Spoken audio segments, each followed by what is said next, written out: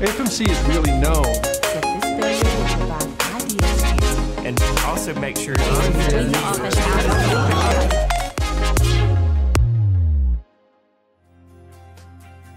Welcome to this edition of AFMC TV. I'm Robin Ledbetter. Thank you so much for joining us. So today I have with me Dr. Austin Porter. Thank you so much for being here, Dr. Porter. Thank you, Robin. Thank you for the invite. So he is the assistant professor in health policy and management at the College of Public Health at UAMS. And you have a, a research team that's doing some really incredible research. Tell me about that. Yeah, yeah. So, I mean, I certainly have to give credit to, um, you know, my, my research team, uh, Dr. Katie Allison, Dr. Nikita Lovelady. Katie has been phenomenal in doing uh, suicide research. And so when I saw these numbers, she was the first person who I thought of. I was like, I've got to get in get in touch with Katie. We've got to have this conversation. We've got to write this up. And Nikita and I, uh, we've worked together on other projects together. She's really focusing in on homicides in the state, and so uh, particularly among the African American population. And um, and so you know the three of us, we all got together. We're up, you know, we're young assistant professors, and you know we worked together in the past. And I was like y'all, we've got to get together and write something up and, and, and address this. So tell us specifically about your research angle and what you found. Yeah, absolutely. So a little bit of background uh, in terms of my research. I study trauma and injury epidemiology in the state. Uh, I have done so since the beginning of the trauma system. I was one of the first uh, injury epidemiologists that we had here in the state. And uh, that was all before COVID 19 happened, right? And so uh, once the pandemic hit, I got pulled into COVID 19 response, you know, the data management, uh, reporting, uh, a lot of that. And then once the pandemic kind of subsided, then I went back into my love, my passion, which is injury and trauma. And one of the first things that I want to look at is what's been the impact of the pandemic on a lot of injuries and trauma that we've seen in the state. First thing that I noticed was that we saw a big spike in suicide numbers. And you know, we know that uh, the pandemic was associated with a lot of undue mental health, uh, mental stress. People lost their jobs, lost family members. Uh, you know, it really upended our way of life. And so I wanted to look into why those numbers were were peaking the way that they were, and then, you know, just kind of start peeling back the layers of the onion, and you find uh, something that you hadn't seen before in terms of just the rate of African Americans who've died from suicide in the state. And uh, that's when, you know, all of this came together. And you've published articles on this, but you, you really have done extensive work on this specifically targeting Arkansans. Yes, yes, absolutely, absolutely. So you mentioned that you are noticing an upward trend in suicides, specifically among Black Arkansas. Yes, yes, so yes. Tell me a little bit about what those numbers look like. Yeah, um, so the numbers are relatively no, low. You know, we're talking about numbers in the 20s um, and 40s, 50s, right? But what was alarming was the the rate in which they increased. So between 2015 and 2020, we saw uh, more than doubling of the suicide rate among Black Arkansans in the state. And just in between 2019 and 2020, we saw a 55% increase in the rate of suicide among Black Arkansans. That is something that you rarely see. Um, you know, that big of a jump, that short amount of time uh, for suicides. And so, again, this really um, set off alarms within me, and you know, had to had to we had to get this information out. We had to let people know that this is going on. So since since the pandemic, we, we know that mental health has become a top priority for Arkansas, mm-hmm. um, and and for many Americans. Do you have you noticed that change uh, since you've started this research that within specifically mental health? What what are you seeing as the trend? Yeah, well, I think that we're we're talking more about mental health. Um, you know, people had to do a lot of the sheltering in place during the early days of the pandemic. There was a lot of social isolation that went on. You know, people couldn't go to their, their jobs. They couldn't go to the grocery stores like they once did before. That set in a sense of isolation, and um, that's you know, can lead to depression, can lead to anxiety, other mental health diagnoses that are associated with increased risk for suicide.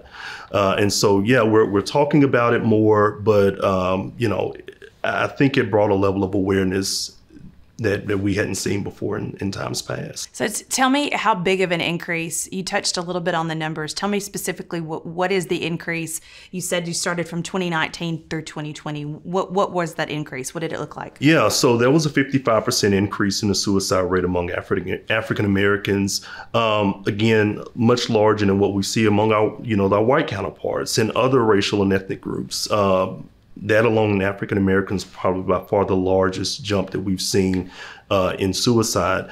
But here's another thing too. So when we were looking at the um, uh, rate of depression, and this is you know I want to kind of focus in on the pediatric population because that that's that. Um, let us know kind of the trends of where things are going. So there's a, a survey that went out, the Arkansas Prevention Needs Assessment, that was conducted between 2021 in 20 no i'm sorry 2020 and 2021 uh, of over 100000 arkansas students and what they found was that they had asked a question on depression. They said, Have you felt depressed within the past 30 days? So depressed that nothing can cheer you up.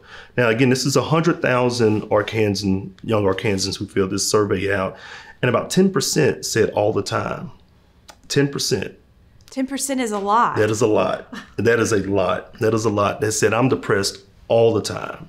And then when we looked at that information stratified by race, broken down by race, um, I mean, we saw some pretty uh, interesting variations there. You know, among one of the highest rates of depression to that, that degree was the Pacific Islander population here in the state. Uh, at 12.9% of Pacific Islanders who responded to the survey indicated that they were so depressed all the time within the last 30 days to where nothing could cheer them up. Uh, 11.3% of the African American respondents said that they felt that level of depression. 9.9% of white respondents felt that level of depression. And so, you know, we really have to be in tune with our our kids, our young population, because they're the ones who, when we look at the suicide rates, especially among African Americans, we see a large uptick in suicides in that population. So let's talk ages. So mm-hmm. we talk about um, demographics with, with different areas, but specifically ages, what was the change in that? Yeah, absolutely. So um, what we saw in in the article that we published and I'm, I'm gonna read this here. So we saw in 2020 there were 14% of our black Arkansans who died from suicide were younger than 18 years old compared to 3% among white Arkansans who died during that same year from suicide. So we're seeing a big difference in the in the makeup of the population who died by suicide, 14% compared to 3%. Well, one would say, well, that's not that big of a difference. I mean, relatively low, and yes, yes, they are. But what happens is that we see a decrease in the average age of decedents who died from suicide. So, starting in 2015, the average age of white uh, Arkansans who died from suicide was about 44 years old. Uh, and I think for African Americans was about 43, very close. Uh, but as time progressed, we saw um, younger, we saw that number go down for African Americans. It went down to 31 years. And uh, among white Arkansans who died from suicide, it remained pretty much the same. And so that let me know that we're seeing more younger African Americans who are dying from suicide. Um, and, and, and that again is a is a is a reason to to sound the alarm. So, from a public health standpoint, yes. why why is all of this important? Yeah, so I, you know, this is extremely important because again, when we see that level of increase in suicide rates, um, you know, no matter whatever the population is, I mean, when we see a big jump like that, that is a that is a public health issue. That is a public health problem. We have to make sure that we move the resources in the right uh, in the right direction so that we can mitigate the the increase that we have been seeing.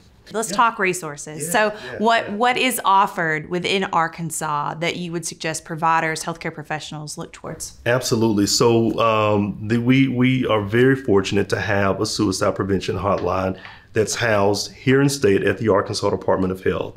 And uh, to reach that resources, you can call 988. You know, it's very similar to 911. We wanted a number that anyone could just, you know, when in their uh, in the midst of a crisis, they can pick up their cell phone or pick up any phone and dial 988. They will be connected to a mental health uh, counselor, to services, to a resource that can help them through their crisis. There's also AR Connect Now. And that's an, uh, a service that's offered through UAMS, where again they can uh, get people in touch with resources uh, that can help them in the midst of their crisis. And if a healthcare provider wants to read your research, wants to learn more about it, how can they do that? Yeah, so we recently published a, uh, an article in the uh, Journal of the Arkansas Medical Society under the AFMC column. Um, they can certainly go there uh, and read more on our uh, on our study, on our numbers that we found. Uh, we talk a lot about some of the other resources that are available. There are uh, programs like the Confess Project. The Confess Project is a is is started here in Arkansas and uh, what it is, it's a, a, service that's offering to barber barbershops, beauty shops, where the salon operators and barbershop, uh, you know, people who barbers, they can, you know, talk to their clients while they're getting their haircut or getting their hair done, talk about mental health and say, hey, there are some resources and be in tune with their clients' feelings, emotions, and perspectives and, and uh, you know, kind of identify whether or not a person is in crisis. What a clever and unique way and Yes, tool to yes. equip people to do that in their everyday lives. And who would have thought in the barbershop? Absolutely. What a really neat thing. We all have to go to the barbershop, right? Right. I, I just went this past weekend.